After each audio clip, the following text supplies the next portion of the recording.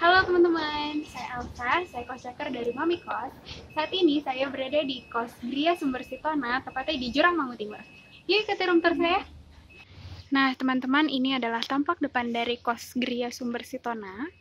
Kos ini terletak di Jalan Sahabat Blok C, Jurang Mangu Timur, Tangerang Selatan. Kemudian teman-teman, di dekat sini ada Jalan Pesantren, Jalan Cegeraya, dan Jalan Bintaro Utama. Kemudian, di dekat sini juga ada pintu belakang dari kampus TAN, lalu Puskesmas Jurang Mangu Timur, dan tepat di Jalan Cegeraya itu terdapat restoran atau warung makan dan juga minimarket. Kemudian, teman-teman, jika teman-teman masuk, area ini bisa dijadikan area untuk parkir motor. Kemudian, tepat di sini ini bisa digunakan untuk parkir mobil. Sekarang kita menuju ke kamar yang ada di klaster yang paling dekat dengan pintu utama atau gerbang utama. Sekarang kita masuk ya.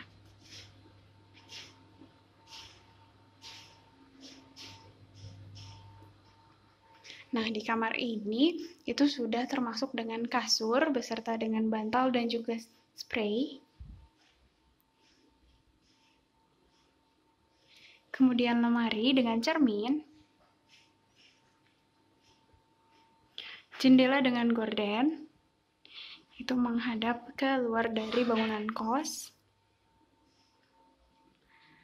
AC, lalu meja dengan kursi, kemudian ini menggunakan kamar mandi dalam, di kamar mandi ini sudah ada kloset jongkok, kemudian sikat untuk kloset, peralatan mandi seperti ember dan kayu, keran air, rak untuk sabun, serta teman-teman di tiap kamar mandi itu juga sudah tersedia gantungan seperti ini. Ini bisa digunakan untuk menjemur pakaian ya. Lalu, pintu aluminium dengan kunci. Kemudian untuk beberapa peraturan di sini tidak diperbolehkan untuk membawa teman menginap kecuali keluarga dan batas bertamu itu hanya sampai pukul 9.30 malam. Nah, kemudian teman-teman, ini adalah tangga atau akses menuju ke lantai 2 dari bangunan di kluster ini.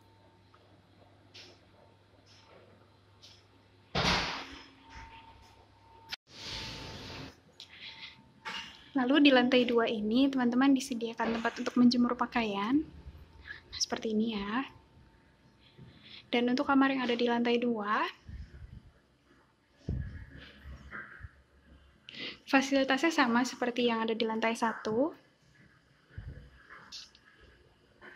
Dan untuk kamar mandinya ini ya teman-teman. Kamar mandinya itu tergolong masih sangat bersih, seperti yang bisa teman-teman lihat.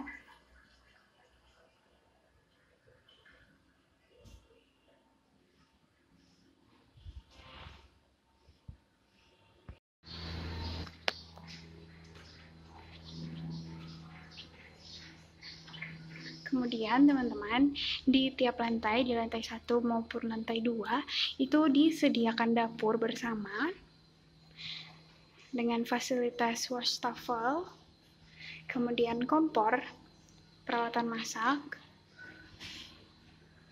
kulkas, kemudian meja dan kursi.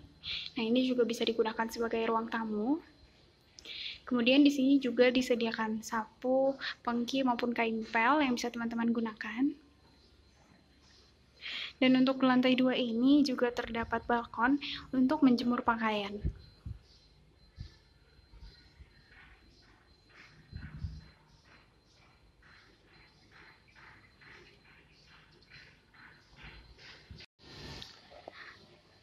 Lalu untuk kamar yang ada di klaster selanjutnya ini, di sini juga disediakan kasur beserta bantal dan juga spray.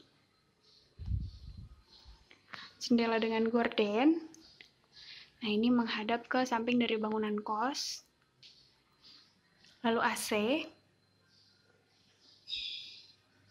lemari dengan cermin, meja dengan kursi, lalu gantungan untuk pakaian,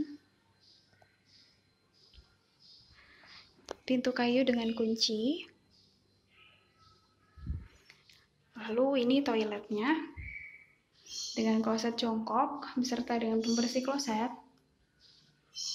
lalu gayung dan juga ember, keran air, rak untuk sabun, serta gantungan untuk handuk atau tempat teman-teman untuk menjemur pakaian, serta pintu aluminium dengan kunci. Nah, teman-teman, itu tadi video cekan saya di kos Gereja Sumber Sitana. Jika teman-teman tertarik dengan kosan ini, bisa langsung aja klik tombol dukung. Terima kasih dan sampai jumpa.